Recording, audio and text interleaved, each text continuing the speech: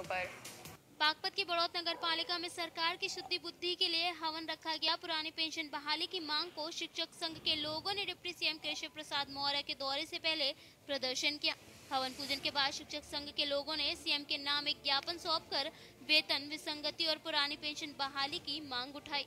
दरअसल ये हवन पूजन का कार्यक्रम शिक्षक संघ के लोगों ने किया। ये तमाम पदाधिकारी सरकार द्वारा पेंशन बहाली न होने से नाराज़ हैं और आज इन तमाम लोगों ने अपनी मांगों को मनवाने के लिए प्रदर्शन किया है। ये हवन जो है, हम पहले जो है जिला कार्यालय पे करना सोच रहे थे, लेकिन प्रशासन ने अनुमति नहीं दी।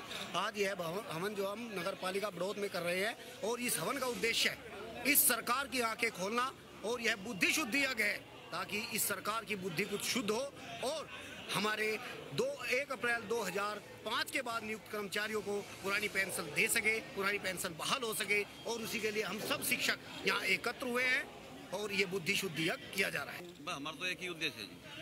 हमारे जो है नए जो कर्मचारी है इन्हें पेंशन मिलनी चाहिए किसी भी तरह मिले। बुद्धि शुद्धि सही हो जाए सरकार की हमें पेंशन दे दे यही हमारा उद्देश्य है।